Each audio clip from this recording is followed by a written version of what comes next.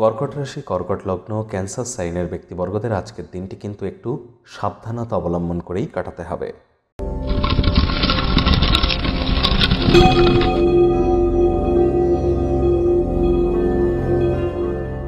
যাদের কর্কট রাশি এই রাশিফল তাদের অধিকাংশ ক্ষেত্রেই খাটবে, আর যাদের কর্কট লগ্ন তাদের কিন্তু আংশিক খাটতে চলেছে।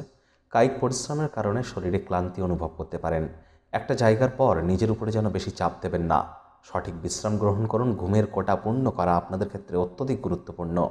আজ কায়িক পরিশ্রমের কারণে শরীরে ক্লান্তি অনুভব করতে পারেন, আর নেতিবাচক অনুভূতির আশ্রয় নিলেই হতাশাও আপনাদের গ্রাস করতে পারে। যারা বিজনেসম্যান আছেন, পরিবারের প্রয়োজনীয় জিনিসপত্র কেনাকাটার কারণে আপনাদের আজ আর্থিক পরিস্থিতিতে কিছুটা টান টান পড়তে পারে। আর্থিক লেনদেন, আর্থিক বিনিয়োগ, অর্থগত বিষয়ে গুরুত্বপূর্ণ সিদ্ধান্ত গ্রহণ করবার জন্য দিনটি কিন্তু আপনাদের পক্ষে নেই। আর্থিক অবস্থার উন্নতির জন্য সকল প্রকার মাদক জাতীয় দ্রব্য থেকে নিজেদেরকে দূরে সরিয়ে রাখার চেষ্টা করুন। যারা চাকরিজীবী আছেন, তাদের কিন্তু অফিসে কম কথা বলে কাজ বেশি করতে হবে, মনের থেকে মস্তিষ্ককে বেশি দাম দিতে হবে।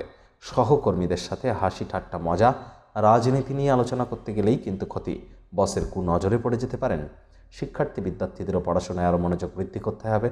উচ্চশিক্ষার জন্য যারা বিদেশ যাত্রার কথা ভাবছিলেন, ভাগ্যদেবী কিন্তু আজ আপনাদের সহায় নেই। পরিবার, পরিজন, নিকটে স্থানীয় ব্যক্তিবর্গদের উপরে নিজের মতামতকে জোর করে চাপিয়ে দিতে গেলেই কিন্তু ক্ষতি। কারণ মেজাজ যেন নষ্ট করবেন না, পরিবারে যদি কোনো পরিবর্তন করার চেষ্টা করেন, আগে দেখে নিন, সবার অনুমতি আপনি পেয়েছেন তো। নিকটে স্থানীয় ব্যক্তিবর্গ, বন্ধু, স্বজন, আত্মীয়, পরিবার, প্রত্যেকের সাথেই আজকের দিনটিতে সম্পর্কের পুনরুজ্জীবন বৃদ্ধি করার। প্রেমিক, প্রেমিকা আজ আপনাদের প্রেমে পাগল হওয়ার দিন, প্রেমের অনুভূতিগুলি আজ পরিশোধিত হবে। আপনারা সব কাজবাজ ছেড়ে একে অপরের সাথে সময় কাটাতে চলেছেন। স্বামী স্ত্রীও আজ আপনারা একে অপরের জীবনের মূল্য বর্ণনা করতে গিয়ে সুন্দর সুন্দর বাক্য দিয়ে একে অপরকে ভরিয়ে তুলবেন। আজ আপনাদের রোম্যান্সের চরম মাত্রায় পৌঁছানোর দিন, এমন দিন জীবনে বারবার আসে না, তাই দিনটিকে উপভোগ এবং অনুভব করার চেষ্টা করুন। আজ আপনাদের শত্রুপক্ষ বিরোধী পক্ষ কিন্তু খুব একটি শক্তিশালী থাকছে না। তবে নিজের চোখের বিশেষ করে যত্ন নিন। আর চোখে কিন্তু আঘাত লাগতে পারে বা চোখের কোনো ক্ষয়ক্ষতি হতে পারে।